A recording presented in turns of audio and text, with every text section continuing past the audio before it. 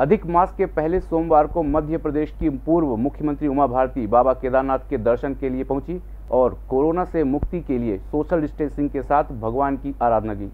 Corona संक्रमण काल में बीजेपी नेता, पूर्व मुख्यमंत्री उमा भारती अधिक मास के पहले सोमवार को बाबा केदारनाथ के दर्शन करने पहुँची। उमा भारती ने कहा कि मैं केदारनाथ आने के लिए तड़प रही थी। मुझे बाबा ने मौका दे दिया।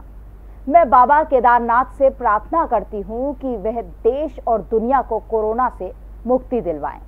पूजा पाठ के दौरान उमा भारती सोशल डिस्टेंसिंग का पालन करती हुई नज़र आई। यहाँ का प्रशासन और पुलिस सभी नियमों का पालन करवा रहे हैं। रावल जी भी और पुजारी गण भी बहुत नियमों का पालन कर रहे हैं। केदारनाथ जी, क्योंकि आने की छूट मिल गई है, इसलिए अब दर्शनार्थी आने लगे। लेकिन वो सभी दर्शनार्थी नियम नहीं तोड़ रहे और जो नियम तय हुए हैं कि कहाँ से प्रणाम करना, वहीं से प्रणाम कर रहे हैं। और बाबा के दर्श, वैसे भी मैं बताऊँ, हम यहाँ इसलिए नहीं आते हैं कि हम बाबा को देखें। हम यहाँ इसलिए आते हैं कि बाबा हमें देखें। तो हम तो जैसे ही आते होंगे, बाबा की नज़र हम पे पड़ जाती है।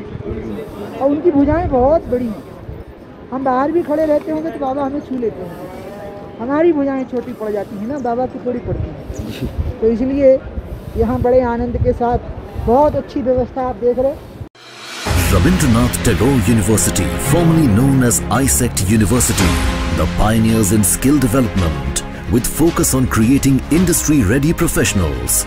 Join India's premier skill-based university, Rabindranath Tagore University. संगीत की स्वर लहरियों से सांस्कृतिक ताने बाने तक चंबल के पीड़ों से नक्सलवादियों के गढ़ तक झोपड़ी से महलों तक ठेलों से मेलों तक पगडंडियों से सड़कों तक गाँव से शहरों तक व्यापार से उद्योगों तक। राजनीति से कूटनीति तक। दखल न्यूज़। आपके हक।